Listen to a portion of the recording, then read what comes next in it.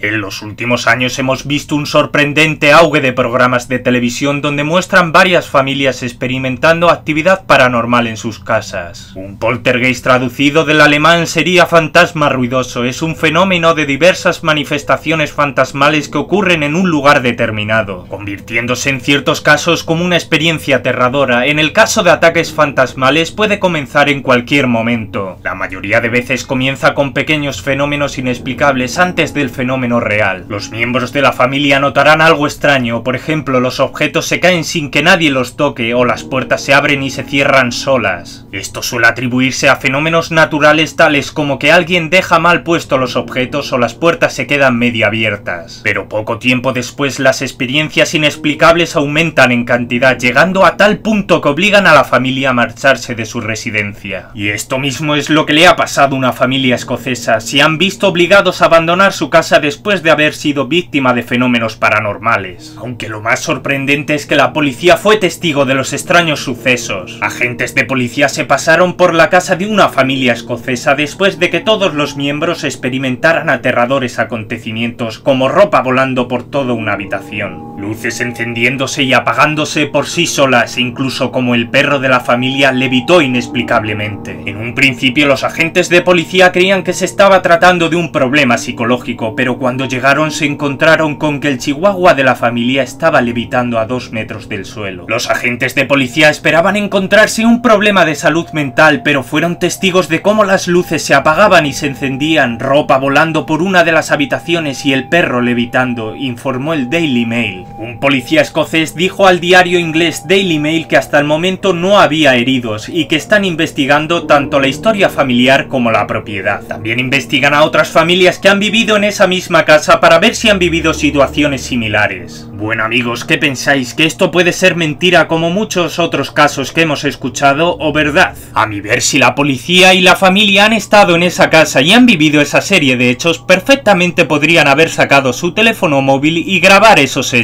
Pero no tenemos evidencias del hecho, ninguna foto, ningún vídeo, solamente la palabra de la familia y de los policías. No olvides darle a like si te ha gustado el vídeo y si quieres ver más contenido así, suscríbete. No olvides seguirme en mi página oficial de Facebook, Twitter e Instagram, ya que estoy muy activo en ellas. Una noche más os ha hablado Cool Seconds y os deseo dulces sueños.